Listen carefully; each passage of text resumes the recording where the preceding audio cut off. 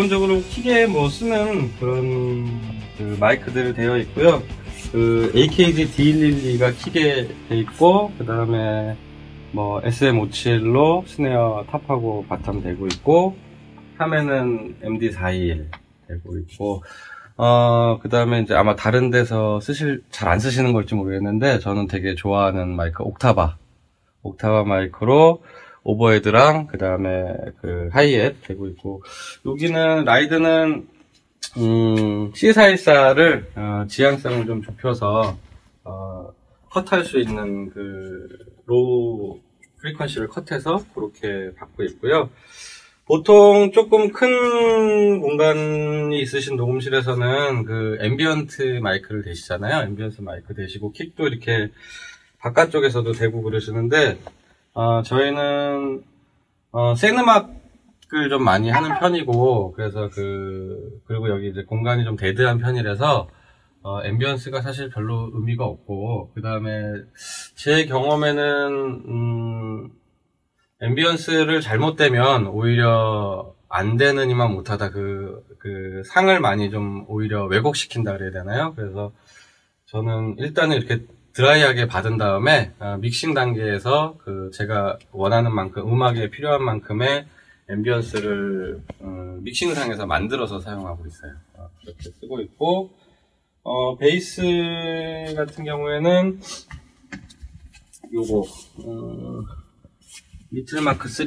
예, 저 요거랑 그 다음에 보통 이 베이스 앰프랑은 12인치 캐비넷을 많이 사용을 하시는데 12인치 두 방 들어있는 거. 근데 이제 저 같은 경우에는 어, 여기 센 음악도 좀 많이 하고 그러기 때문에 아주 그 메탈 같은 경우는 아주 그 low-end 사운드도 필요해서 15인치 캐비넷을 장만을 해서 쓰고 있습니다. 이 베이스 앰프 굉장히 깨끗하고 맑은 소리를 내주는데 어, 15인치 하고도 잘 어울려서 어, low-end 쪽도 잘 내주고 하여튼 굉장히 마음에 들게 사용하고 있는 베이스 앰프고요. 그 전에는 암팩을 썼었는데 그거보다 여러 용도로 쓸 수 있는 그런 예, 앰프인 것 같아요. 그 다음에 기타 앰프는 음, 지금 이거는 지금 녹음 중인 밴드 거고 650이고 요거는 JCM 2000이고 캐비넷은 제가 마샬 1960이랑 그 다음에 블랙스타 캐비넷을 같이 사용하고 있는데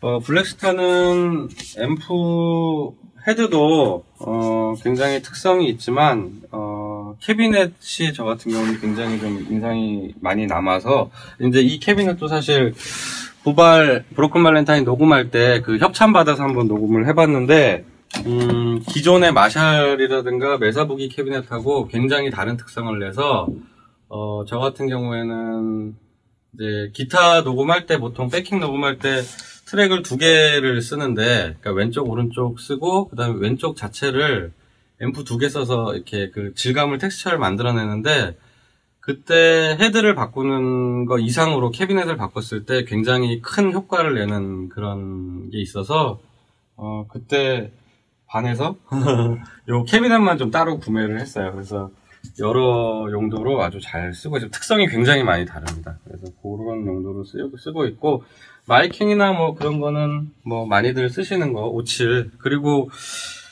이 그 펜더 같이 뒤가 오픈된 캐비넷 같은 경우에는 뭐 뒤에도 miking을 좀 하시고 그러시는데 음 혹시라도 뭐 집에서 캐비넷으로 녹음하실 분들 계시는 경우에 앰프에다 마이크 두 개 대실 때는 굉장히 조심하셔야 돼요. 그러니까 잘 모르겠으면 그냥 57 SM57을 그 여기 콘지를 잘 살펴보시면 일단 캐비넷을 들어보시면 네 개를 딱 귀를 대고 들어보시면 상태가 좋은 그 그저 스피커가 있습니다. 그 스피커의 가운데 예, 잘 안 보이면 후레쉬 비치면 보이거든요.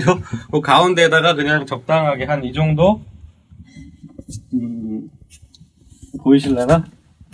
음, 이 정도 어, closed miking 하셔가지고 그냥 이렇게 받으시는 게 제일 좋아요. 뭐 뒤에 쓸데없이 뒤에 대시고 뭐 이런 거 하지 마시고 그 다음에 기타 앰프로 톤을 잘 잡으시는 거 그게 녹음에 그 녹음이 잘 되는 최고의 지름길입니다. 뭐 왜 나는 시, CD에 있는 사운드가 잘 안 나지 이런 고민하실 때 기초부터 좀 단단히 갔으면 좋겠어요. 이, 게 이게 출발이니까 여기서 일단은 더 고민하지 마시고 이 상태를 만들어 놓고 그 다음에 앰프에서 한번 접근을 해보시는 게 어, 좋은 사운드를 내실 수 있지 않을까.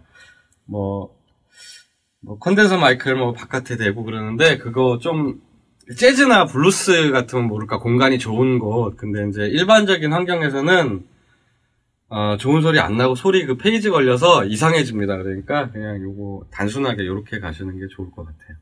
그리고 뭐 보컬은 뭐 역시 많이 쓰시는 687 음, 쓰고 전에는 옥타바 마이크 썼었는데 아, 그것도 이제 굉장히 믹스해서 자리를 잡아주는데 아, 요즘에 좀 음악이 좀 부드러운 음악도 많이 들어오고 그, 래서 그냥 아 그냥 무난한 음, 범용으로 쓸 수 있는 687로 어, 한 3, 4년부터 전부터 쓰고 있습니다. 뭐 크게 불만 없고 예. 여기는 안에는 이 정도. 음, 그리고 아,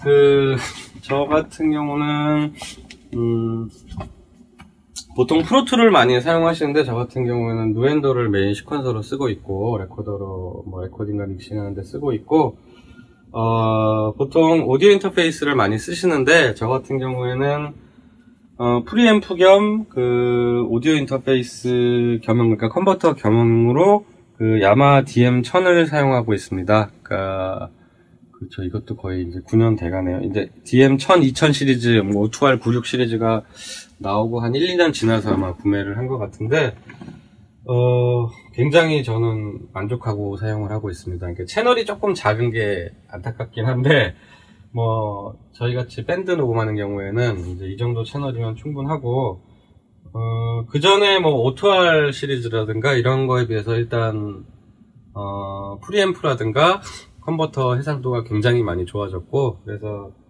네 편리하게 사용을 하고 있고 어, 그 다음에 이제 기본적으로 받는 것들은 얘를 쓰는데 조금 착색이 필요하거나 제가 좀 더 이렇게 강조가 필요한 거, 그러니까 LA 진공관 사운드가 좀 필요할 때는 Universal Audio LA610, 그러니까 채널 스트립이죠. 그 프리앰프랑 그 shelving형 EQ랑 컴프레서, 그 다음에 예 그렇게 있는 요 장비를 어, 보컬이라든가 뭐 기타 트랙, 그러니까 하나짜리를 받을 때는 보통 많이 사용하고 그 다음에 아주 clean 사운드를라든가 뭐 클래식 악기들 같은 경우에는 Grace 201 어, 굉장히 맑은 진짜 깨끗한 왜곡 없는 사운드를 내주는 요 프리앰프를 사용을 하고 뭐 kick에는 주로 진공관 MP1이라는 Groove Tube 프리앰프를 쓰고 네, 프로 이렇게 요거밖에 없습니다.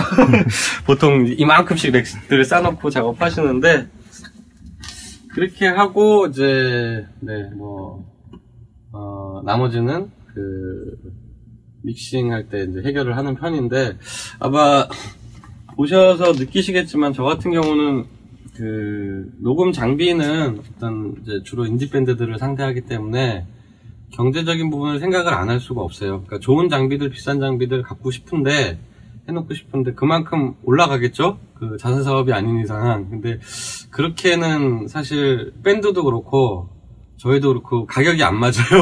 그래서 그거 부분은 여러 가지를 고려하고 또 이제 같은 버짓이라면은 저 같은 경우에는 녹음 장비나 하여튼 필수적인 건 갖추어야 하지만 그거보다는 좀 악기 쪽이라든가 그쪽에 좀 더 투자를 많이 하는 편입니다. 그러니까 원소스를 잘 받는 거를 어, 좀 더 중요하게 생각한다 그럴까요? 예, 그, 그런 편입니다. 그래서 조금이라도 여유가 생기면 이제 녹음 장비나 뭐 플러그인을 업그레이드 하기도 하지만 그 계속 악기 쪽을 어, 예를 들면 앰프를 하나 더 어, 부티크 앰프를 하나 더 장만해 볼까 이런 생각을 더 많이 하는 그런 쪽으로 이제 작업을 하고 있습니다. 네, 장비 소개 이 정도. 네.